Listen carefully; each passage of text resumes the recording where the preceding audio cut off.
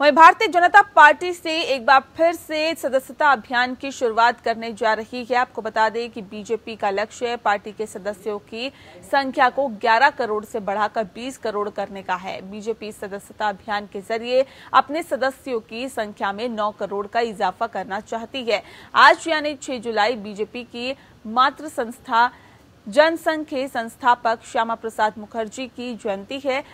BJP इस मौके पर मेगा सदस्यता अभियान की शुरुआत करने जा रही है। आज बीजेपी की पूरी टॉप लीडरशिप इस महत्वाकांक्षी अभियान में उतरेगी।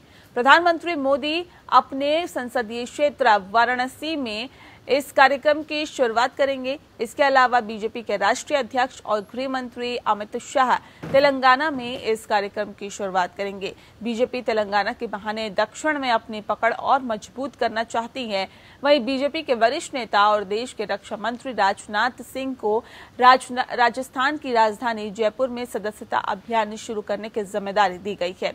साथ ही रक्षा मंत्री राजनाथ सिंह राजस्थान बीजेपी के दूसरे नेताओं के साथ बीजेपी के सदस्यता अभियान की शुरुआत करेंगे।